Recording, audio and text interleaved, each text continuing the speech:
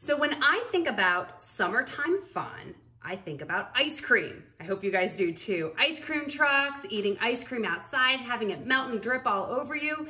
But have you guys ever made your own ice cream? Well, today's experiment, that's exactly what we're gonna do. We're gonna make ice cream in a bag. And this is a really quick, fun, easy activity for the kids to do and for the kids to learn how ice cream is made. It doesn't just come from a store. Crazy. We're gonna show you how it's made. To do this activity, you need just a few things. You need sandwich bags, you need uh, quart bags, and then you also need gallon bags. You need a little bit of sugar, some half and half, vanilla, kosher salt, and of course, ice. So each kid gets their own bag. Anybody who's making ice cream, I should say, could get their own bag. And then you are gonna put one cup of half and half. This is a half cup, so I'm gonna do this twice. And then you're gonna dump it in the bag. Once your milk is in your bag, each bag, and you can do less of this, moms and dads, if you choose, uh, gets two bag or two scoops, two tablespoons of sugar.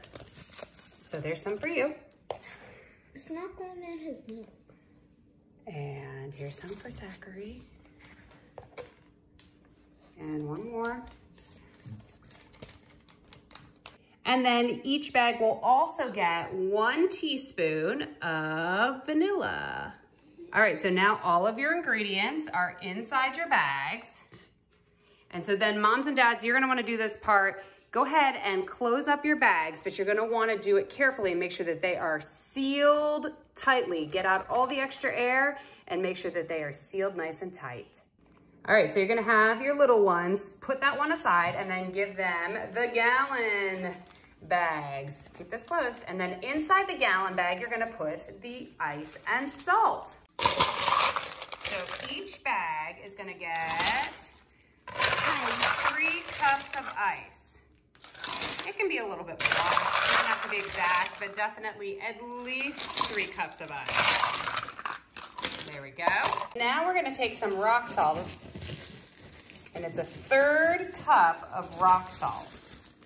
Can I do it? And that's gonna go in your bag. Yep, you can do it. Do you wanna dump it in your bag? Be very careful. Put it inside and dump it. There you go, good job. And another third of a cup. Here you go, do you wanna dump it? You can let your guys do this part too.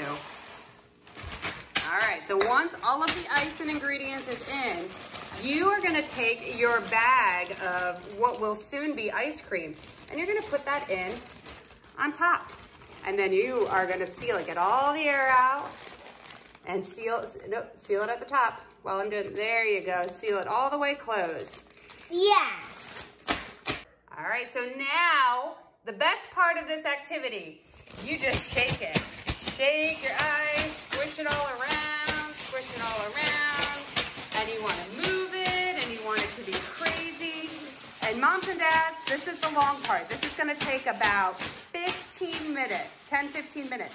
The kids can run around shaking it. They can do whatever they want. They can stay right in the kitchen if you choose, but they just need to shake it and get that rock salt and the ice to mix to make a reaction and to get the bag super duper duper cold. Do this, the colder the bag's gonna get, that's what we want to have happen. We want the reaction to be cold.